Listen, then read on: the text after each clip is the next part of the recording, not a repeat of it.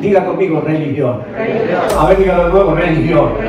Pero tenemos que saber que el cristianismo en Cristo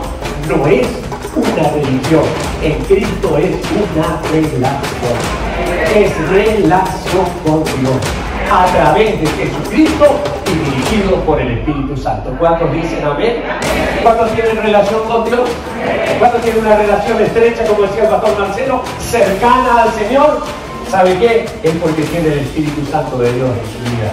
Diga conmigo, cristianismo, a ver dígalo con autoridad, cristianismo no es religión, cristianismo es relación con Dios.